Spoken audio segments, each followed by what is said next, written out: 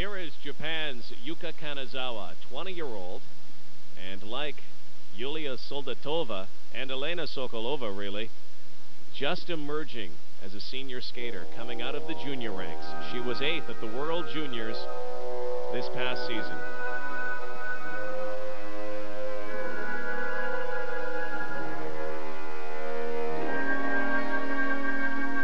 And she was fifth after the short program.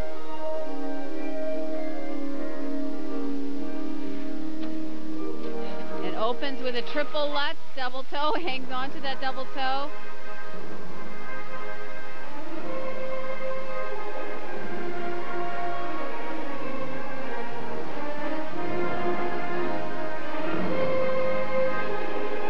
And with the performance of Laetitia Hubert, there's a definite opportunity here for her to move up to fourth.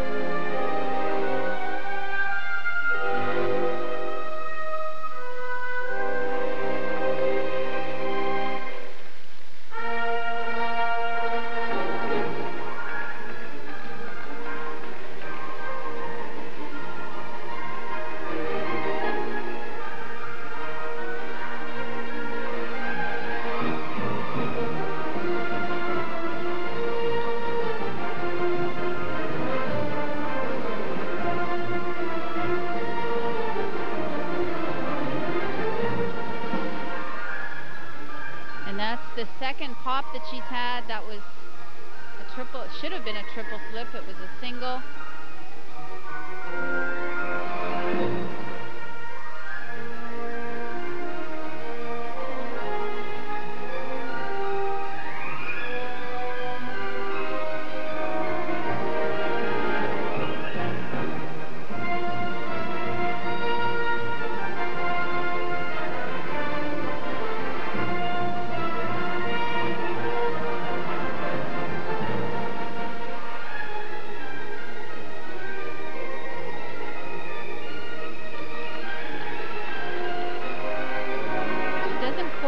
The strength on the landings that she needs. She needs to get a little bit more strength to complete the jumps cleanly. However, I think this is still a stronger program than Laetitia Hubert. This should move her up.